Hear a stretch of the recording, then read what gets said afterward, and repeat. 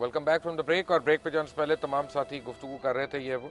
लेकिन coming back to it Abrar आप भी हैं लॉरेंस भी हैं, हदीका आप तीनों भी मुझे ये बताएँ, आप सबका ताल्लुक स्टेज एंड शोबिस से है।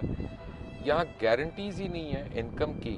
तो फिर बाकी लोग बचाते क्यों नहीं है, जिस तरह ये सीनियर्स कह रहे हैं? गवर्नमेंट की तरफ़ से कॉपी राइट्स तो बड़ा पुराना मसला चलता आ रहा है, इसको राइट टू कॉपी भी कहते हैं।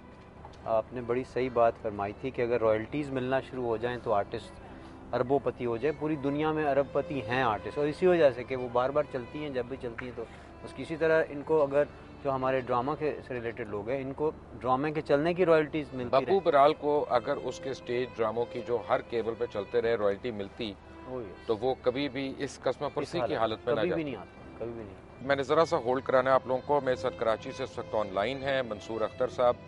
बड़े साहबजादे हैं मोइन अख्तर साहब के। मंसूर साहब सलामकुम वालेकुम। अस्सलाम। कैसे हैं सर मंसूर साहब पहले तो जितने यहाँ पे लोग बैठे हैं उनकी जानब से और जो देख रहे हैं उनकी जानब से आप हमारी दिली ख्वाहिशात और हमारे जो फीलिंग्स हैं वो आपके और आपके अहल खाना के लिए हम क्या कह सकते हैं इससे ज़्यादा? मुझे ये बताएँ कि मोइन अख्तर साहब बहसीत फ़नकार तो यहाँ पे जितने उनके साथी हैं वो रोशनी डाल रहे हैं और बता रहे हैं। बहसीत एक बाप के या बहसीत एक इंसान के अपने घर में उनका रवैया कैसा था? एज अ फादर जैसे वो इंसान थे वैसे ही वो फादर भी थे। इन uh, शॉर्ट हमारे साथ उनका बहुत टाइम गुजरा। बहुत तो नहीं कह सकते क्योंकि वो ज़्यादातर ट्रैवलिंग ही करते रहते थे। लेकिन हमारा जितना भी अपने वालद के साथ टाइम गुजरा है, वो इतना क्वालिटी टाइम गुजरा है।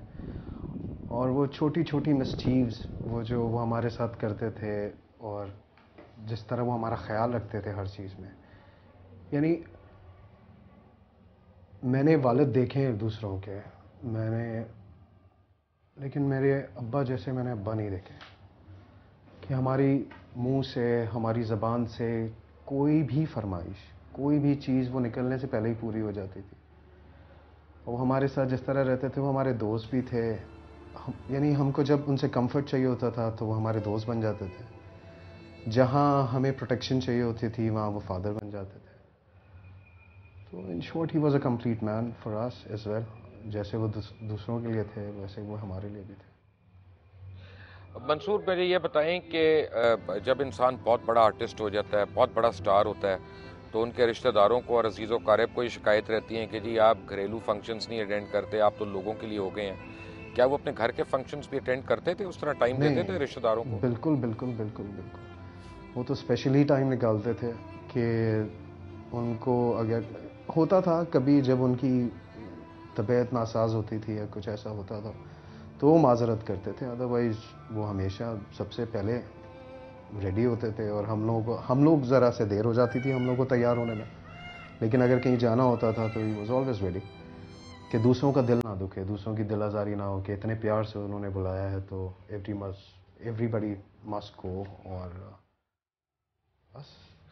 मुझे ये बताएँ कि बीमार तो वो काफ़ी दिनों से थे। आप लोगों को कब एहसास होना शुरू हुआ कि शायद ये बीमारी जानलेवा हो? नहीं नहीं ऐसा तो हमको कभी भी एहसास नहीं हुआ सर चीज़ होती है आप मेंटली रेडी होते हैं। लेकिन हम लोग तो मेंटली भी रेडी नहीं थे।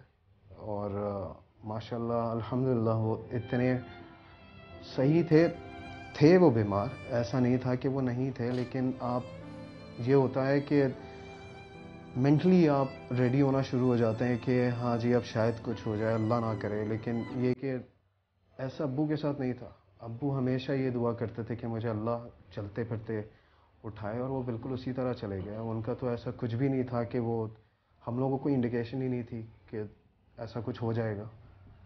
नहीं जब उन मुझे फ़ोन आया कि he is in the hospital तो उस वक्त मुझे यही हो रहा था कि शायद ये चकरा के गिर गए। वो मुझे मेरे दिमाग में ये बिल्कुल भी नहीं था कि ऐसा कुछ हो जाएगा।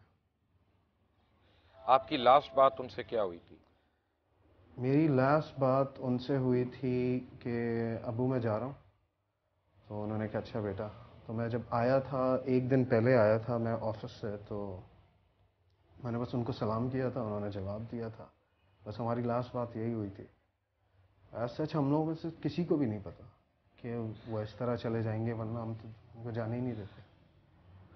मंसूर मैं एक आपसे तकलीफ़ दे सवाल पूछ लूँ अगर आपकी इजाज़त हो। जी सर मुझे असल में पता ये चला है कि बहुत से ऐसे लोग हैं जिनको मोइन भाई ने बड़ा सपोर्ट किया सारी उम्र। और उनके घर के घर बना दिए। लेकिन उनमें से काफ़ी ऐसे निकले जिन्होंने आखिरी वक्त में उनसे अपना मुँह भी मोड़ लिया बल्कि यहाँ तक कि उनके पैसे भी वापस नहीं किए। क्या ये बात सच है? देखिए ये एक ऐसी चीज़ है जिस पे आई डोंट थिंक के देखिए अब्बू चले गए।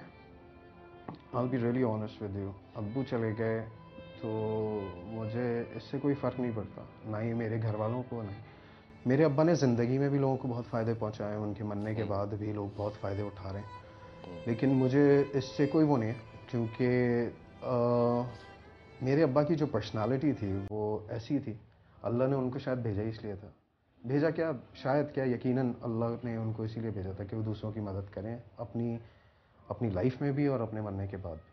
तो उन्होंने वैसे ही किया है और वैसे ही हो रहा है तो मुझे किसी से कोई गिला शिकवा नहीं है। और आप जिनकी भी बात कर रहे हैं मुझे एज सच तो कोई भी नहीं है। और मंसूर साहब thank you very much for being with us मैं वंस अगेन जितने यहाँ पे लोग बैठे हैं आ, इनकी तरफ़ से अपनी जानब से अपने चैनल की इंतज़ामिया की जानब से आ, आपको ये बताना चाहता हूँ कि हम लोग आपके गम में बराबर के शरीक हैं। अल्लाह ताला मोइन भाई के दर्जात बुलंद करे। वो वैसे भी नेक इंसान थे। लेकिन अल्लाह ताला मजीद उनके ऊपर अपनी रहमतें फरमाए। ये थे जी मंसूर अख्तर साहब मोइन अख्तर साहब सर बड़े मैं एक, मुझे एक एक सब लोगों से एक रिक्वेस्ट करनी है जी। कि एक्चुअली मैं बस मेरे वालदेन के लिए जितनी दुआ हो सके मेरे अब्बा की मगफरत के लिए आप लोग जितनी दुआ कर सकें जितनी दुआ मुझे पता है सब लोग कर रहे हैं जितनी दुआ आप लोग कर सकें वो कीजिए।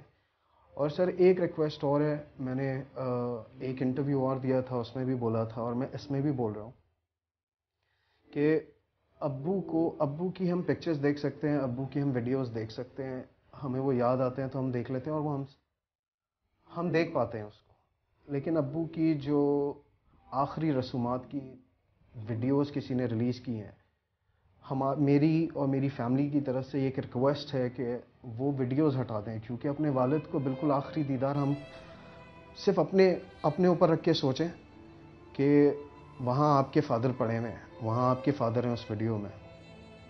उस वक्त वो देखें तो कैसा लगेगा।